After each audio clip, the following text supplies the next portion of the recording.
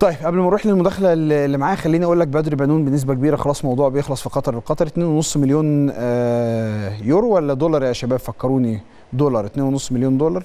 وقبل كمان للزيادة في أمور ليها علاقة بال يعني ال- ال- ال- الحوافز الزيادة يعني الحوافز الزيادة. أعتقد آه، هتفرق برضو كمان.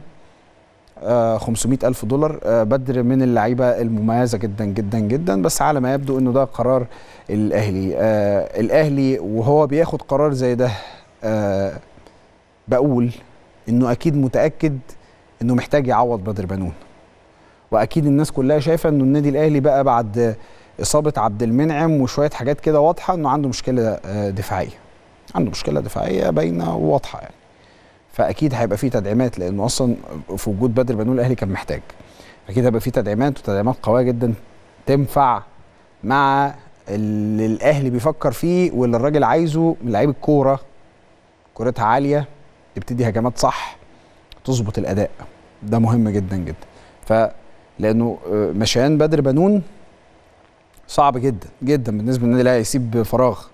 فهل هم هيجيبوا مكانه حد؟ أكيد. يعني أكيد الأهلي بيتحرك في ده.